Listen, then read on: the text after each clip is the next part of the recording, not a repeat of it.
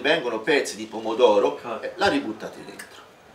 Va bene, piano piano. Il DNA Lab apre le sue porte agli studenti della scuola secondaria di primo grado. Il progetto vede infatti unite all'Eitis Galileo Galilei di Arezzo e l'Istituto Comprensivo 4 novembre. Queste attività vogliono appunto avere una funzione orientante, ovvero mostrare le possibilità di scelta che ci sono nei vari percorsi scolastici. Poi il ragazzo in base alle sue inclinazioni e interessi avrà facoltà di scegliere liberamente. Gli studenti hanno potuto toccare così con mano il laboratorio laboratorio dedicato esclusivamente alle analisi sul DNA.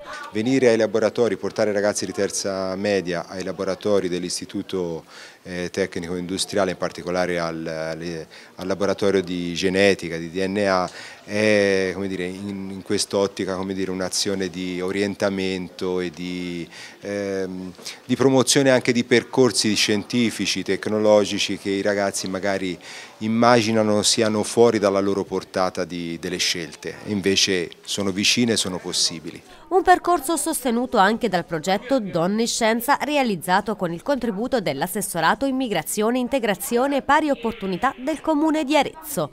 Noi sappiamo dai dati le donne che si avvicinano alle facoltà scientifiche eh, sono molto minori rispetto agli uomini, dare l'opportunità a delle mh, ragazze, delle giovani donne che stanno per scegliere la scuola superiore di fare delle esperienze in laboratorio come quello di ITIS che è una scuola eccellente del nostro territorio è stato per noi una, un grande orgoglio e soprattutto una, un, un utile mezzo per farlo conoscere.